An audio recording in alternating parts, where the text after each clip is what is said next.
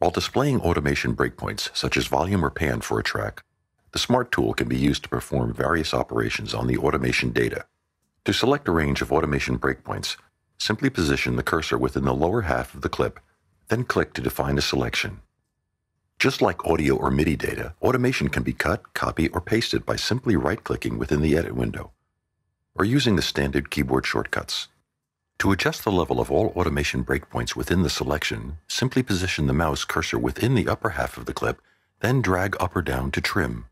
The appropriate values based on the parameter type are displayed while the operation is being performed. Use the plus and minus keys on the numeric keyboard to nudge the selected automation nodes by the current nudge value. To adjust an individual breakpoint position, simply hover over a node until a grabber icon appears. Then click and move to make adjustments. To remove an individual breakpoint, hold down the Option key on Mac or the Alt key on Windows while clicking on a node. To draw a simple linear ramp, hold the Control modifier to enable the pencil tool which is currently set to line mode. To perform a quick freehand shape, use Control plus Command on Mac or Control plus Start on Windows while clicking in the automation graph.